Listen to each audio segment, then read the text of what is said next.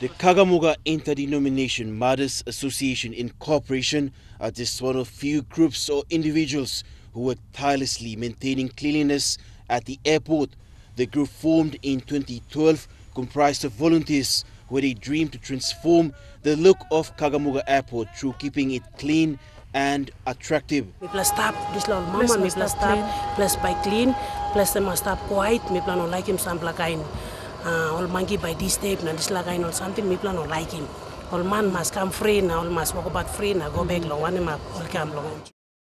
The slogan is Agents of Change for Kagamuga Airport as an international airport to PNG's agriculture city.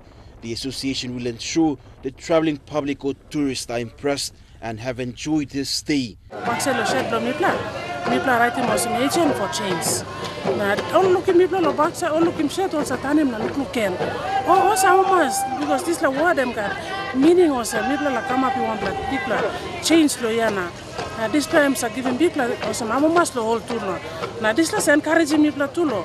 Mipla must continue lo walk na. Mount Hagen is blessed with one of the world-class terminal and for Julie and Maria, they have already started their routines cleaning up and beautifying the airport area. Proud lo this la terminal em stop long community blo mipla inside lo yamga pepper tribe.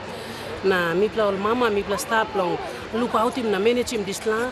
Ino kan osem sampla kain date no kan stop. Mipla ready mo sampla flower fort or something long put him inside lo mipla terminal na mipla like make it nice na According to National Airports Corporation, the new terminal will be opened later this month. This is just a story that can teach each and every one of us to appreciate and at least say thank you to some people who remain simple and humbled in life and work to ensure people use and enjoy this service. Fabian Hakalits, National EMTV News.